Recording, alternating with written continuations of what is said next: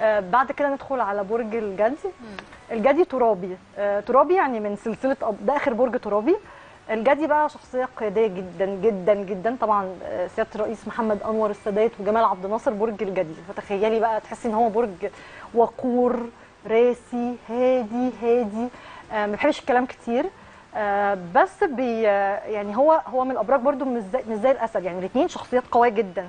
الأسد بيقعد يقول أنا أهو. الجدي عارف قيمة نفسه بس ما بيتكلمش عن نفسه. تلاقيه قاعد بس كده؟ ممكن ما يتفقوش مع بعض. خالص. يعني أنا ما بنصحش ابني أي- ابني أسد والتاني جدي. لا ما بصي- الوقت نقر ونقير. أو كل واحد مقتنع إن هو الجدي واثق في نفسه جدا وهو ذكي. يعني آه. الجدي ذكي جدا وبيشتغل في صمت. الجدي ده ما يحبش يتكلم كتير ولا يحب الناس اللي بتتكلم كتير وما بيحب والجدي من النوع ما بيعرفش يعبر عن مشاعره. دي برضو عيب من ابراج عيوب الأبراج الترابية.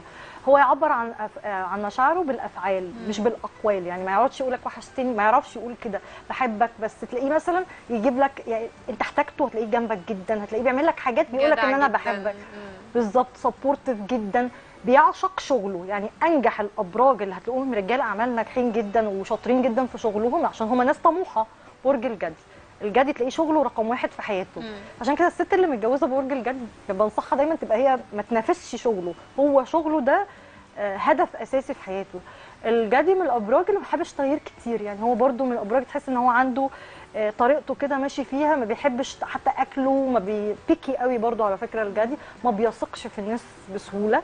وصعب تضحك على برج الجدي يعني برج الجدي ده ما ينفعش تضحك عليه لأن هو ذكي قوي وهيلقطها آه، بيعرف يقرأ الناس كويس يعني.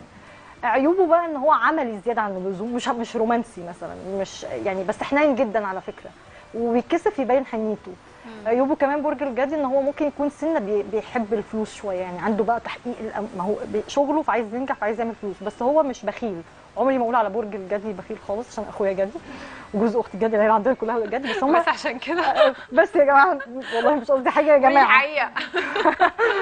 لا بس هم يعني عندهم بيح... بي- عندهم money management هقول money management يعني بيعرفوا يعملوا فلوس كويس يعرفوا يدخروا يعملوا business هم شاطرين في الموضوع ده.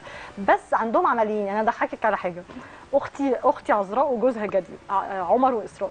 فهم جابوا بنت baby يعني بنت يعني لا حبيبتي فراحوا يشتروا لها حاجات ال baby بقى. وتخيلي أول baby ليهم هم عمليين قوي الاثنين doctors فبتقولوا لي اشترينا الانضف انواع الحاجات. بعد كده لما روحنا اكتشفنا من كتر ما إحنا عمليين جبنا الكالرز أزرق وهي بنت أصلا. هم ما فكروش بقى في عارفة انت الشو بقى أيوة. وبيربل وبينك هم دوروا على على القياسات بتاعت أيوة. الحاجة إن هم يجيبوا أحسن حاجة بغض النظر عن الألوان يعني فاهمة؟ فهم بيقولوا قعدنا نضحك لما روحنا يعني.